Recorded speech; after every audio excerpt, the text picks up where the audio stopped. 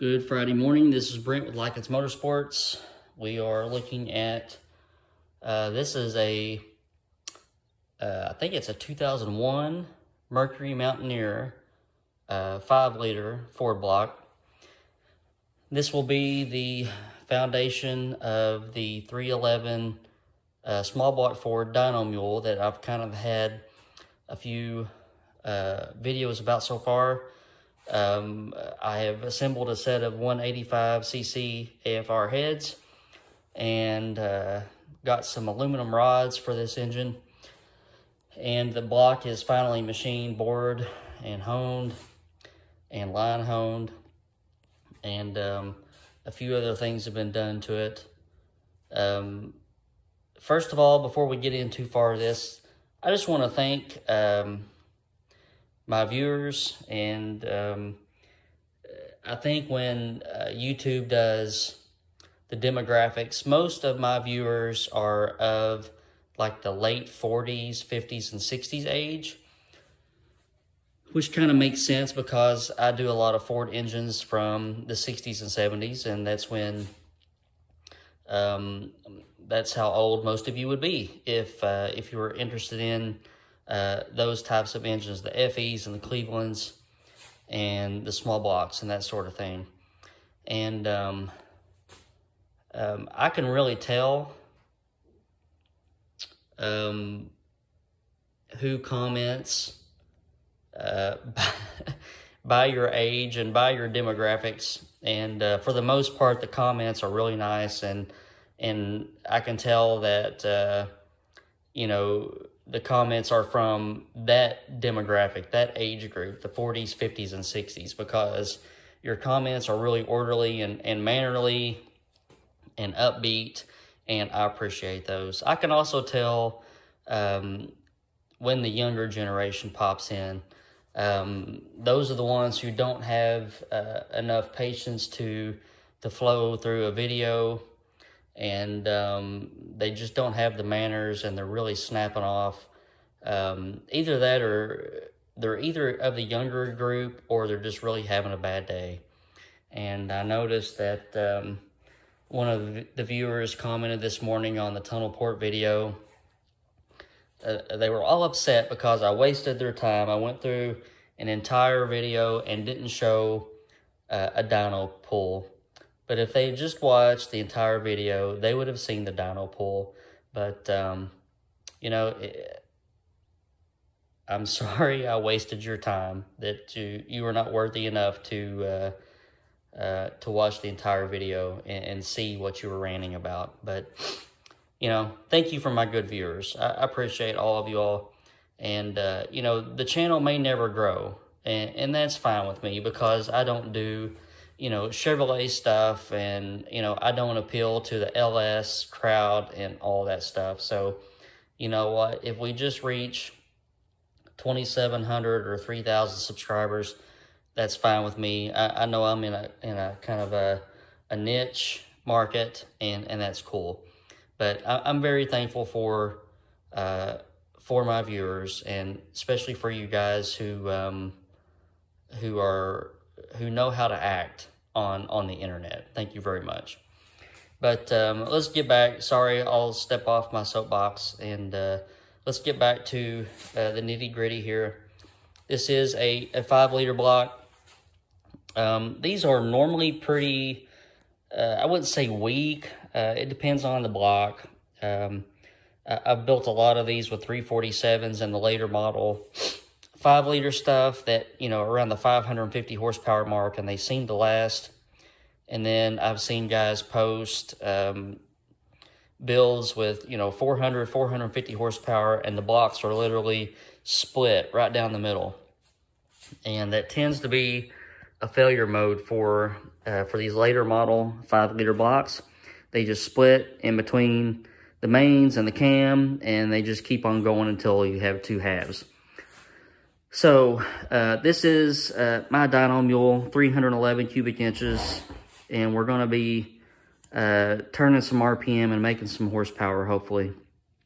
And so I've tried to do a few things to counteract uh, those harmonics that typically will split a block in half. Um, I don't know if you can see it, but this is, uh, this block has been filled up to the bottom of the water pump holes. So if I try to stick my finger in here, that's as far as she's gonna go. Um, there you can start to see it right there. But uh, uh, filling the block gives you stability and increases the rigidity of the block. It stabilizes the material behind the cylinder walls, which increases the ring seal. And uh, overall, it's a good thing. It does make the blocks a little bit heavier. And uh, although it doesn't increase your water temperature, sometimes on street, you will see your oil temperature go up. So when we use blocks like this, I typically advise my customers to run an oil, oil cooler to help with that. But uh, we're at a 4060 bore, uh, an 8190 deck height. The um, the drains in the lifter valley have been tapped for a quarter inch pipe, so I can put some stand pipes in here. Um, I'm in the midst right now of uh, drilling this channel that runs down and intersects the main uh, gallery in between here uh, to uh, employ a, a lifter restrictor. So I just need to tap that hole. But um, still got a little bit to do on it. Uh, cam bearings need to go in and uh, the crank isn't balanced yet. So um, I haven't done a lot of uh, bearing clearance checking, but uh, from the past videos, here is the cylinder heads. These are AFR 185s. You can watch the other video and see what uh, I have um, packed, uh, what goodies I've packed these with. This is the second time that, it, that they have been cut. Um, before, uh, when I was assembling them the past, uh, uh, in the past, um, one fell against the other and put a little divot. Um, you can see, you can see this little divot right here. There was another one up here that we machined out. But when the head fell against this one, um, it hit right about here. And it just perfectly landed up or lined up with the fire ring on the head gasket. So I thought, this is my luck that, uh, you know, I'll get these together and, you know, I'll torch a head gasket or something because of it. So it got to me and I just went ahead and stripped them down and uh, ended up, we had to take another four thousandths off and we still have this little guy right here, but he's not going to hurt anything because he's way inboard of the, uh, of the fire ring. So Second time these heads have been cut, now they're at 54.4 cc's and they are reassembled, they're ready to go. Um, here's the connecting rods that we're going to be using. And uh, these are uh, 5 700 length with a small block Ford rod journal. And here are the pistons that we're going to be using. These are custom Racetec pistons, and these have been around my shop for a very long time. Um, they kind of been bounced from project to project, and that's why I'm doing another dyno mule is a, because I finally accumulated enough parts laying around that I could almost put an engine together with. So we will go that route. Um, so if you notice, this is what's left of a dome. And I think these pistons, uh, I think we had the domes cut off. Um, a couple years ago. Like I said, this stuff has been laying around for a long time. But um, what we're going to do today is, uh, since the block isn't totally prepped and, and ready to go, I want to know where my compression ratio is going to lay with, with these cylinder heads and with the block and um, with these pistons. But the thing is, I don't know what the volume is on the pistons since the dome has been cut and since they have these adequate valve reliefs. So I'm going to show you how to CC a piston.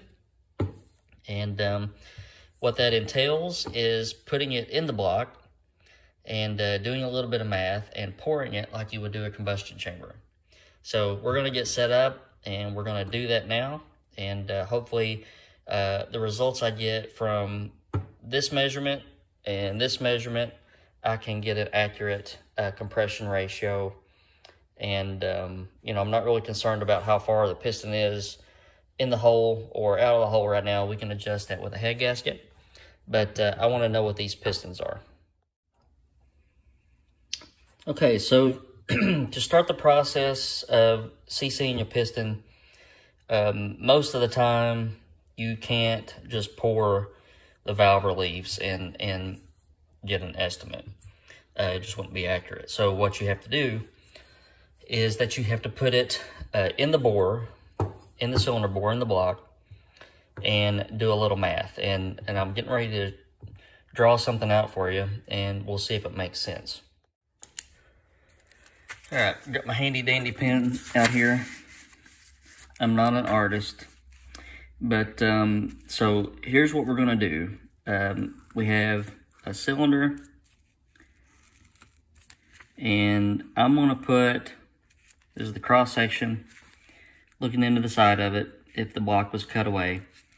I'm going to put my piston in the bore. Again, very crude drawing because I can't draw. Uh, I'm going to measure this distance right here and I'm going to uh, set it all the way around so that it's the same distance all the way around.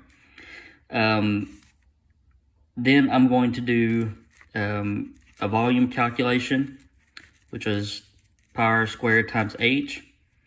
And we know that our bore size is 4060. So we're going to have pi uh, radius squared.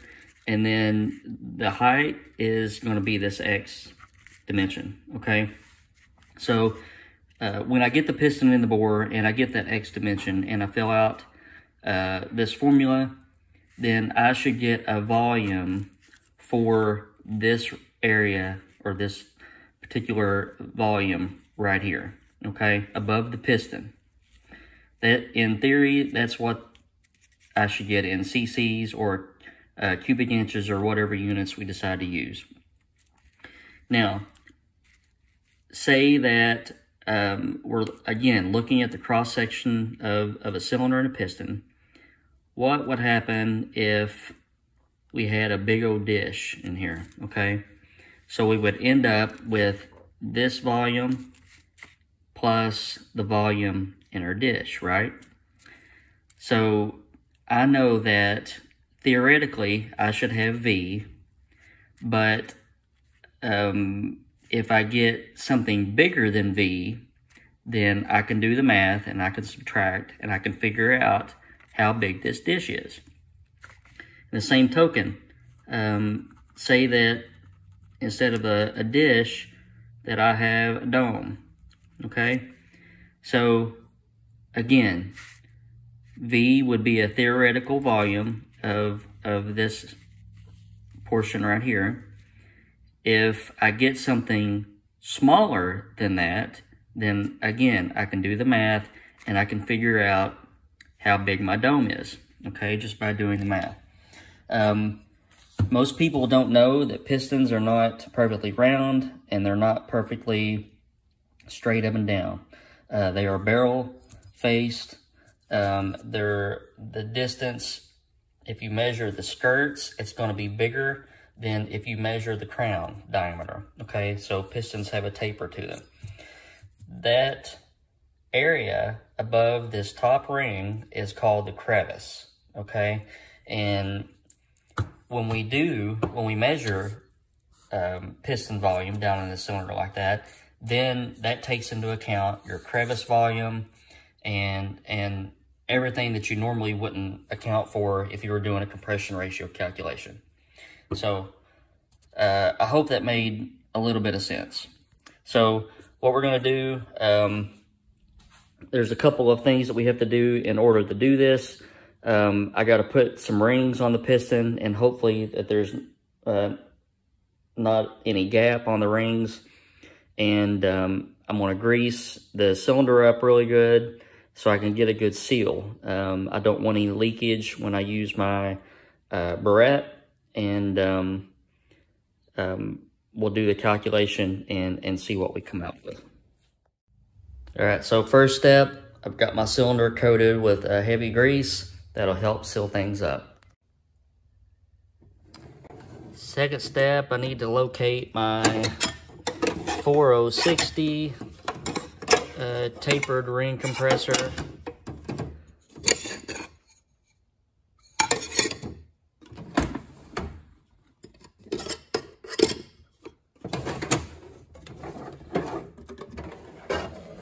I hope I didn't loan it out. All right, you have to give me a minute. All right, so I'm glad I wasn't planning on putting this engine together today. Uh, I've lost my 4060 bore tapered ring compressor. I don't know if I loaned it out or what, but I was able to feed the ring in uh, with my fingernails. But uh, got it in here. Um, I've measured down uh, 250 thousandths, quarter inch, all the way around and I checked that with uh, the depth part of my dial calipers. So the piston is sitting um, the same distance down in the bore all the way around. Now we can feed that number into our uh, formula. All right, so we're back to our handy dandy drawing. Uh, X is going to equal 250 thousandths. So we're going to have um, pi times 2030 squared times 250 thousandths. Uh, that's going to be our, our volume, theoretical volume. So let's do some math here. 2030 times 2030. If I had a better calculator, I could square it. That is uh, 4.1 121 times 250 uh, times pi times 250 times 3.14159. Okay, so uh, that should be 3 point two, four, since all of our dimensions uh, were in inches, we have uh, cubic, I'm sorry, we have inches squared here and an inch dimension here. So that would be um, cubic inches. Okay. And one cubic inch, one cubic inch equals 16.387 cc's, okay, cubic centimeters. So if we take our 3.24, multiply by 16.387, then I should be able to pour this. And if this area was completely flat on the piston, just think of a completely flat piston, then I should get 53 and just we won't even, 53.03 is too small for me to measure, so we'll say 53 cc's. So I'm gonna get my, I'm gonna grease this up just like I would a cylinder head. I'm gonna put my plate on it, and then we're gonna use our burette and see what we measure. Okay, so here's what we look like. Got grease around, got my plate on, mashed it down to get a nice seal, and we're gonna load our burette up. All right, so we filled it up. I got a good seal. It's not leaking. And uh, I couldn't do it on camera. But um, we are at 56 and about 4.4 or 0.5. So we'll call it 56.5 cc's and we are back to our handy dandy, dandy drawing. So theoretical, we should be at 53 cc's. We measure actual 56.5, okay? So what we did, we'll recap, if this area here was a completely flat piston and we just uh, filled this top portion full of fluid, we should get 53. But with our piston, and with our crevice volume and the valve reliefs and that little bit of a dome and everything on it, we got 56.5, okay? So we actually got just a little bit more volume than uh, if this piston were completely flat. So this piston volume, we can say, is 3.5 cc's. And now when I do my calculation, I've measured my chamber, 54.4. I've got my piston volume. And um, like I said earlier, head gasket stuff I can move around. And if my pistons are, um, they should be about uh, 10 in the hole uh, because of the aluminum rod that I'm going to use. But after that rod heats up, then pistons should be at zero deck. So uh, we will calculate everything based on a zero deck um, and, and about a about a 40 thousandths quench. And we can calculate our compression ratio. All right, so I'm cleaned up now. Uh, it is a little bit messy to do that. Grease and uh, alcohol goes everywhere.